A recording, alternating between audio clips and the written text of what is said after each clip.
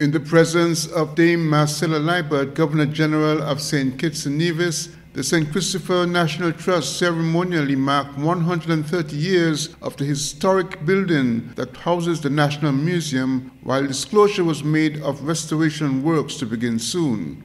Ms. Etsu Bradshaw Keynes, Executive Director of the National Trust, provided the first hints of restoration works as she gave recognition of the economic contribution of the old Treasury building. The new building, and I repeat, the new building will be waiting to be discovered by each new generation. As we commemorate this milestone, let us not only celebrate the past, but also embrace the promise of the future. May the old Treasury building continue to inspire and captivate all who will pass through its hallowed walls. Soon, and very soon. And I repeat, soon and very soon.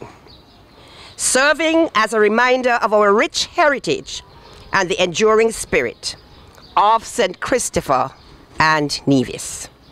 The old Treasury building, 130th birthday, a beacon of history, a symbol of resilience and a cherished cornerstone of our beloved city.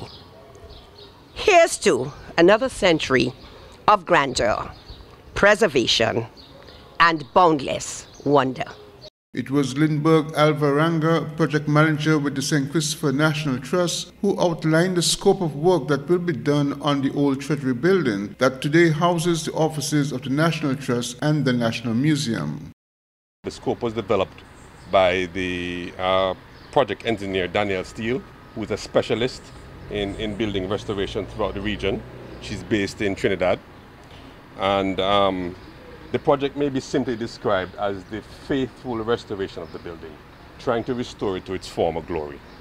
Um, beyond the regular site cleanup and things like that, the scope of the project entails repairs to the walls and the removal of the Portland cement from joints um, repairs to the cracks in the walls, applying the historic lime mortar um, in, the, in, the, designated areas, repairing and replacing metal doors and windows, and including the replacement of the, um, the balconies that were formerly there, the wrought iron balconies.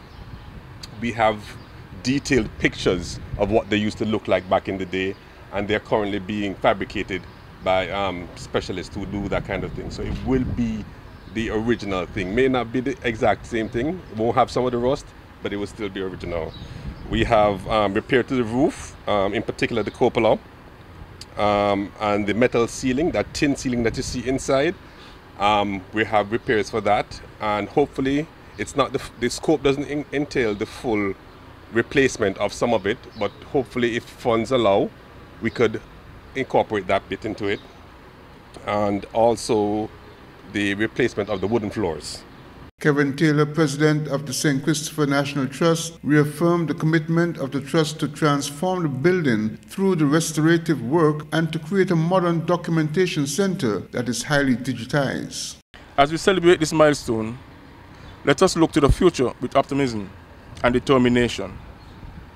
The Treasury building may be 130 years old, but our history is far from over we, the board of directors and members, will ensure it continues to evolve with the times.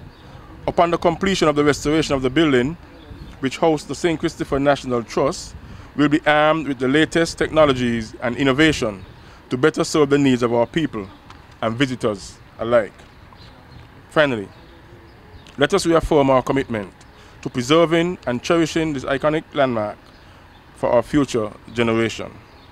The occasion of the building's 130th anniversary was toasted, and guests were invited to join a historic tour of Basseterre on the St. Kitts Sugar Train, a collaborative three times per week tour of the National Trust.